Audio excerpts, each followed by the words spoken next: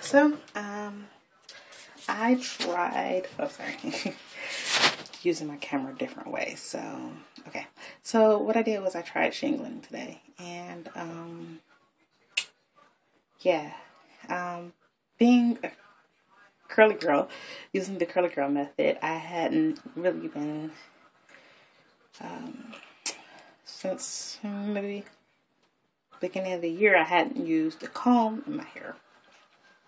Not even for detangling. Um, I think a few videos back was the last time um, I used a comb to detangle. Well, anywho, I used a comb to do the shingling process. I believe that's what it's called. And I love the effect. I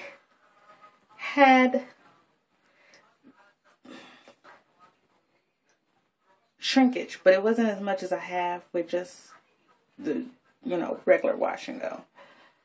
But I love the curl pattern that I ended up with. I'm going to see if I can get a good picture.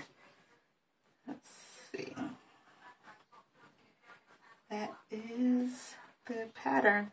The curls, the definition is like, well, except for that side, I slept on that side, I took a nap definition is awesome with the shingling. And earlier today, before my nap, it, well, you can see kind of there. It's like down here.